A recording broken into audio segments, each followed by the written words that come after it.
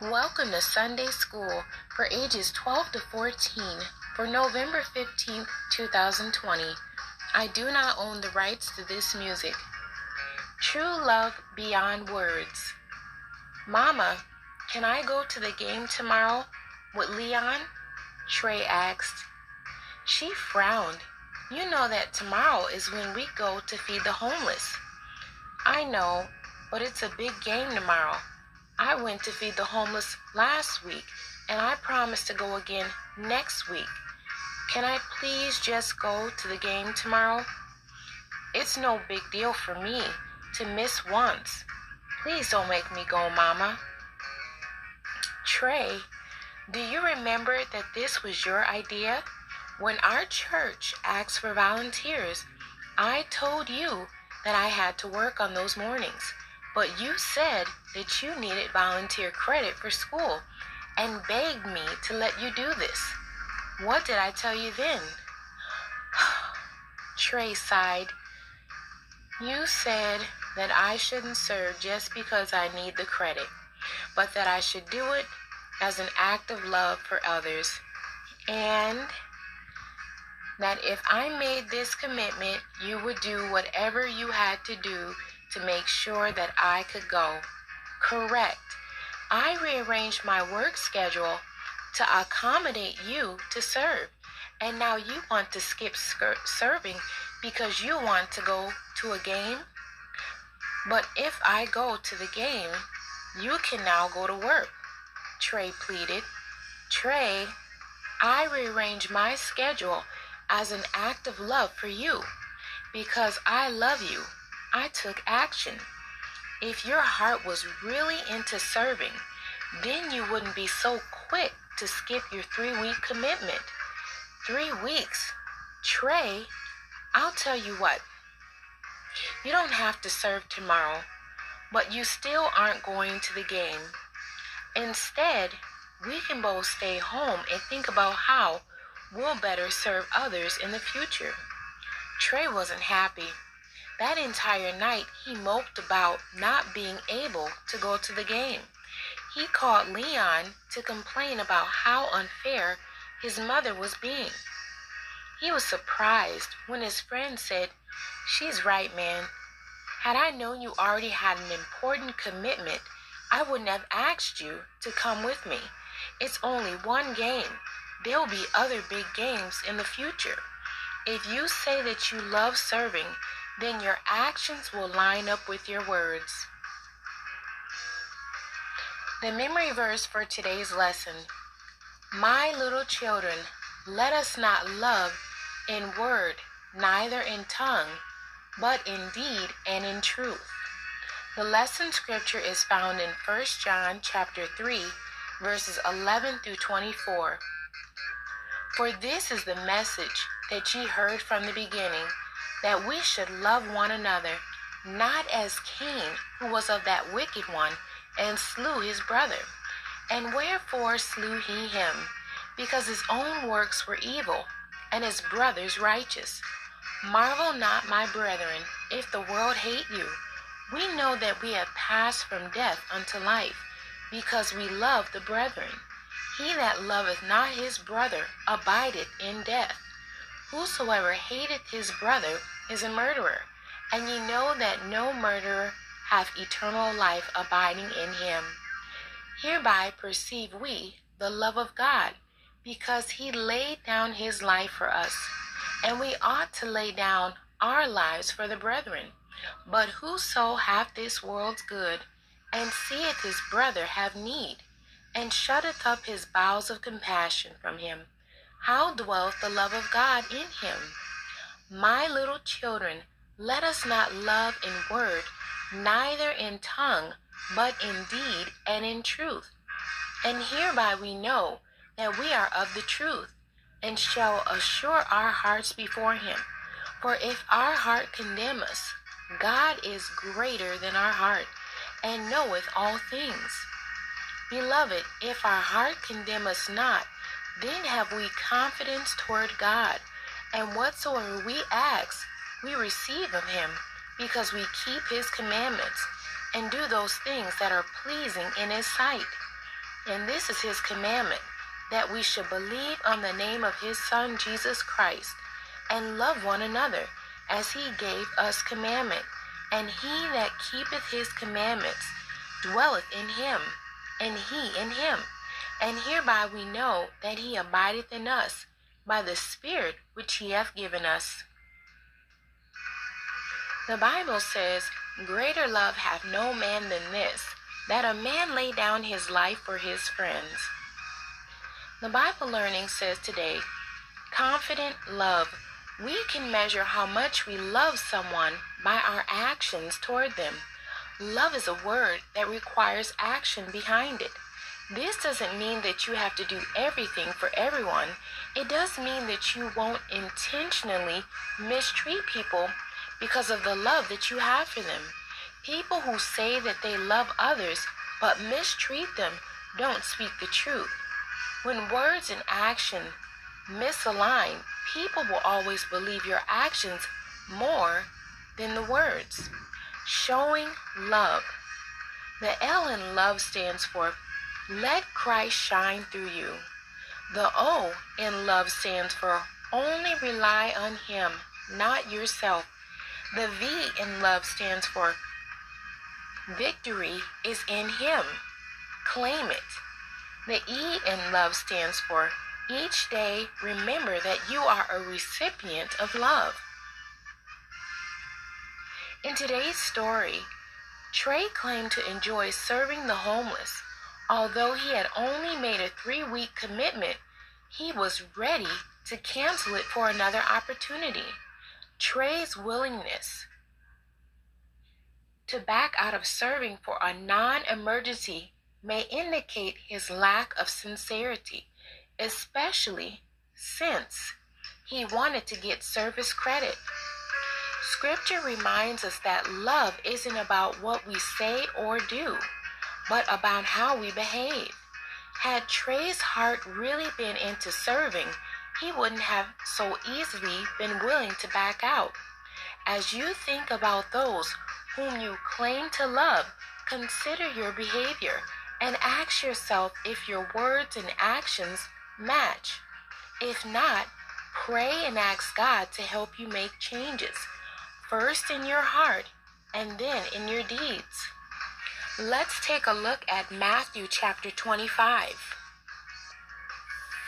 Matthew chapter 25, starting at verse 31. And this talks about the separation of the sheep from the goats. That reads, When the Son of Man shall come in his glory, and all the holy angels with him, then shall he sit upon the throne of his glory, and before him shall be gathered all nations, and he shall separate them one from another, as a shepherd divideth his sheep from the goats. And he shall set the sheep on his right hand, but the goats on the left. Then shall the king say unto them on his right hand, Come ye blessed of my Father, inherit the kingdom prepared for you from the foundation of the world. For I was a hungered, and ye gave me meat. I was thirsty, and you gave me drink. I was a stranger, and you took me in. Naked, and ye clothed me. I was sick, and ye visited me. I was in prison, and you came unto me. Then shall the righteous answer him, saying, Lord, when saw we thee a hungered, and fed thee, or thirsty, and gave thee drink? When saw we thee a stranger, and took thee in, or naked, and clothed thee? Or when saw we thee sick or in prison, and came unto thee? And the king shall answer and say unto them, Verily I say unto you, inasmuch as ye have done unto one of the least of these my brethren, ye have done it unto me. Then shall he say also unto them on the left hand, Depart from me, ye cursed, into everlasting fire, prepared for the devil and his angels. For I was a hungered, and ye gave me no meat. I was thirsty, and you gave me no drink. I was a stranger, and ye took me not in. Naked, and ye clothed me not. Sick and in prison, and ye visited me not. Then shall they also answer him, saying, Lord, when saw we thee a hungered, or athirst, or a stranger, or naked, or sick, or in prison, and did not minister unto thee? Then shall he answer them, saying, Verily I say unto you, inasmuch as ye did it not to one of the least of these, ye did it not to me. And those and these shall go away into everlasting punishment but the righteous into life eternal. Let's look at Romans chapter 12.